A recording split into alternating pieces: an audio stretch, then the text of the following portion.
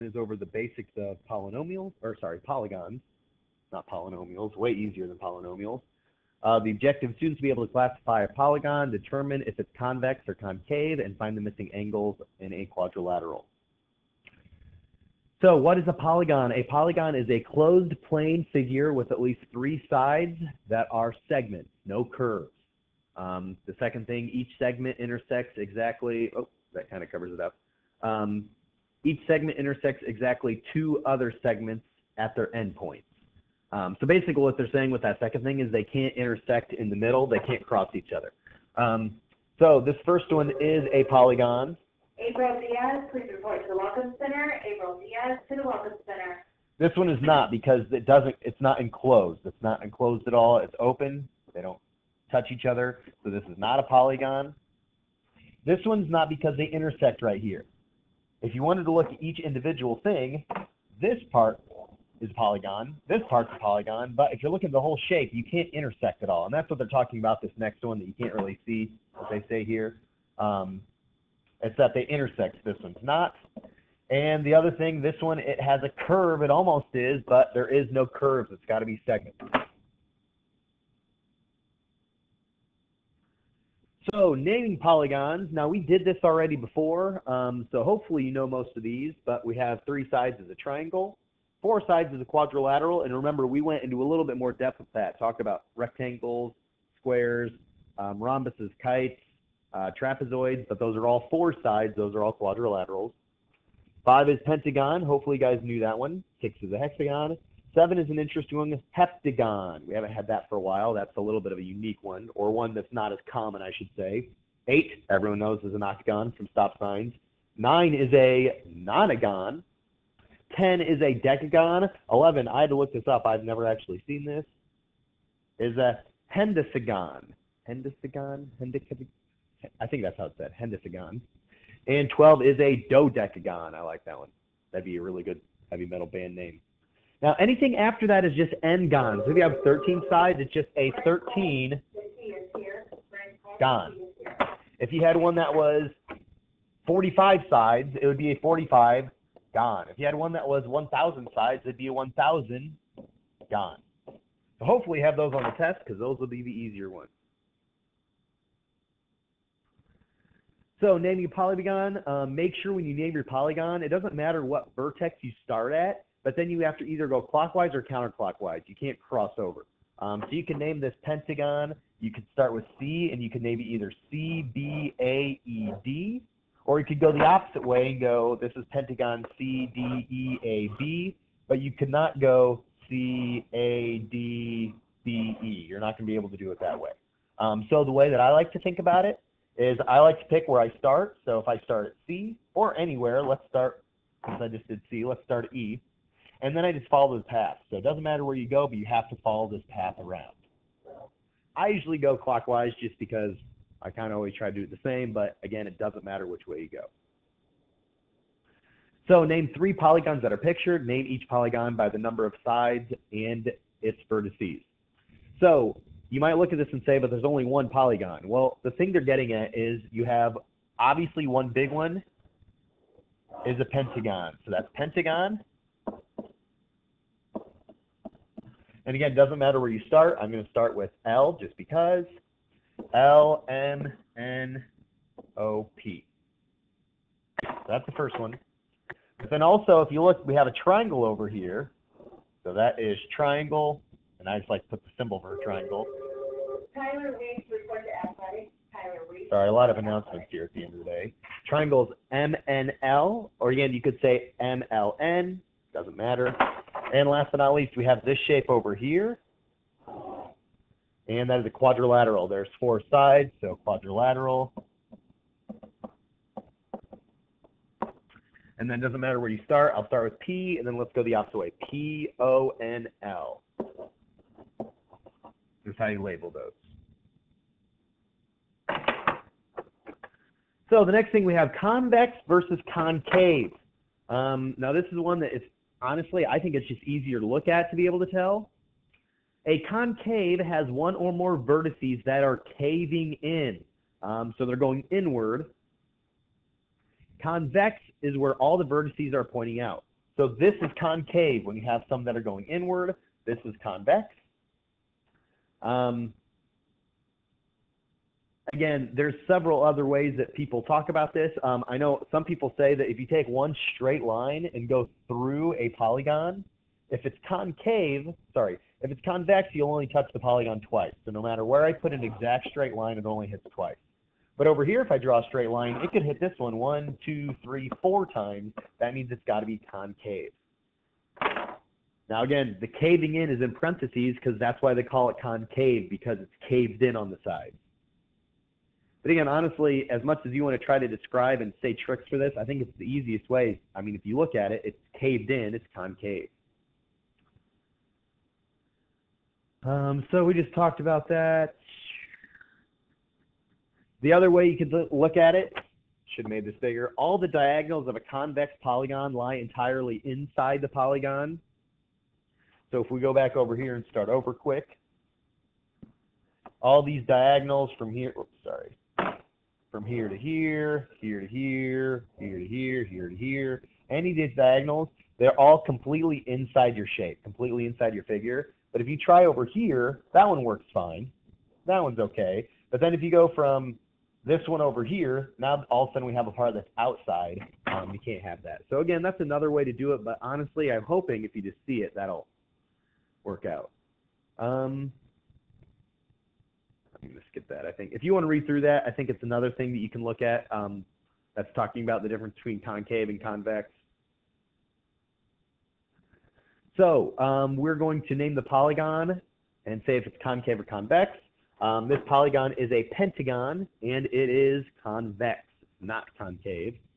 This is, let's see, we have one, two, three, four, five, six, seven, eight, eight sides, so it's an octagon, and it is convex. Now, if you ever have to name these, especially if it has a lot of sides, I like to number them like that because if you don't, a lot of times if you just point at them, you accidentally count one of them twice. So I like to make a little mark or just number them. Um, this one, let's see, we have one, two, three, four, five, six, seven, eight, nine, ten. So this is a decagon, and is concave. These are caved inward. Oh, this one is one, two, three, four, five, six, seven, eight, nine. So that's a nonagon, and it's most definitely concave. This one we have one, two, three, four, five, six, seven. So that's that heptagon, and it is also concave, full parting here. This one, one, two, three, four, five, six. So it's a hexagon, and it is convex. So the next thing, how many triangles can you create in each quadrilateral? So if you start at one corner, how many triangles can you make? Well, if you draw this here, that's one, two triangles. If you start at this corner, that's two triangles. If you start at a different corner, it's the same. Start another corner, that's two, that's two, two, two. All these end up giving you two triangles. Um, so the whole idea of that is the sum of the interior angles in a triangle we said was 180 degrees. Well, if you have two triangles in one of those, then all of a sudden you have twice as many degrees. So the sum of the interior angles on a quadrilateral is 360. So remember back um, earlier in like chapter 5 when I give you a triangle and I say this side was 30, this side is 70, so what's this top angle here? Well, you guys would all say, well, they add up to be 180. 30 plus 70 is 100, so that means this x has to be 80. It's the same exact thing we're doing now, except for now it's going to be quadrilateral. And instead of adding up to 180, they all add up to be 360. It's the same exact concept. So you can also do this for anything. Um, so I can go from here, and say that's one. So we have one, two, three. So three times 180 would be the number of the what the degrees, the angles would add up into a pentagon. You need something? I don't think so. No problem. Sorry about that. Um, so 3 times 180. So in a pentagon, the angles, the interior angles, these angles in here, all add up to be 540. Um, a hexagon, you do the same thing with a 1, 2, 3, 4. So 4 times 180, uh, they all add up to 720. And you can do the same thing with a 12-sided one. So this is what I was talking about, where all these angles have to add up to be 360. So just add all of them up. We have 93 plus 76 plus 11x minus 2 plus 14x minus 7. When you add all those together, that has to be 360. So again, we added 93, 76, 11x minus 2, 14x minus 7. That's the hard part of this, setting it up. Because now it's just combine your like terms. So anything that doesn't have an x, so we have 93 plus 76 plus negative 2 or minus 2 minus 7 is 160. Then the ones with the x, we have 11 and 14, so that's 25x is equal to 360. And now all of a sudden we just have a two-step equation. Subtract 160, subtract 160. 25x is equal to 360 minus 160 is 200. Divided by 25. x is equal to 8. So that's what they're asking you for, solving for x. If they ever said, like, um, find out what angle M is, you just take that 8 and plug it back in here. So 11 times 8 is 88, minus 2 is 86. So I know this would be 86 degrees. I don't think they ask that very often, but just in case. So how about this one? Well, again, they don't give you this angle measurement, but we know that's 90 degrees. That's what that means. So we have 90 plus 84 plus 2x plus 118 plus 2x plus 68 is all equal to 360. And again, go through and add together all your like terms, 90, 84, 118, 68.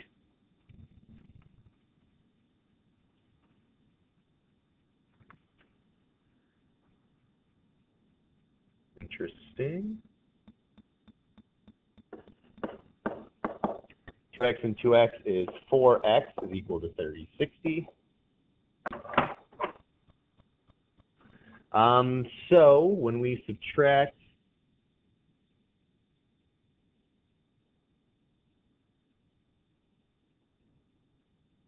Yeah. Uh, so some of you guys are probably seeing why I'm trying to think about this, see if I made a mistake, because when you subtract 360, you're getting 4x is equal to 0. Um, so divide both sides by 4, you end up getting x is equal to 0, which is correct.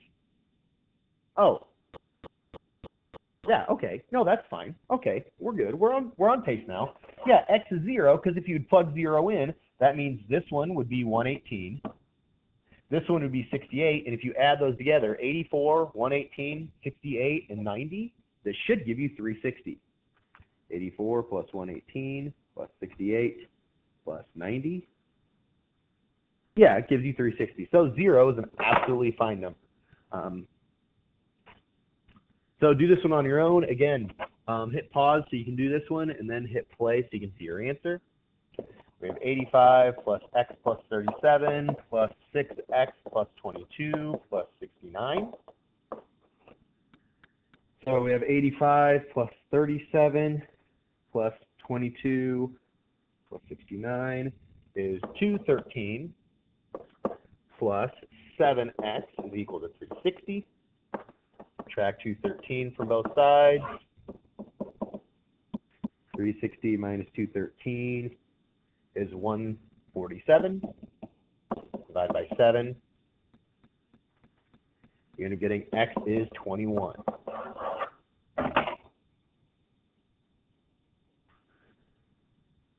All right, so last but not least, um, quadrilateral polygons, so some more vocab. Quadrilateral is when all the sides are congruent. So lateral is meaning sides. Um, if that's not clear, hopefully you don't get it mixed up with equiangular, means all the angles are congruent. That one makes a little bit more sense. Then if you have a regular polygon, we talked about this when we talked about pyramids, regular polygons, all the sides and all the angles are congruent. So both, it's equilateral and equiangular. Now, here's the hint that I gave you. Um, For this stuff, when they ask you about equilateral, equal angle, and regular, make sure it's only when it's marked. If they're marked congruent, that's the only time you can assume that they're congruent. Um, other times it's a little bit different, but for this stuff, most definitely. So this one is equilateral because they mark all the sides are congruent. Now, obviously, it's not equal angular. This angle is way smaller than this angle. This one is going to be a regular polygon because it's both. All the angles are marked congruent and all the sides are marked congruent.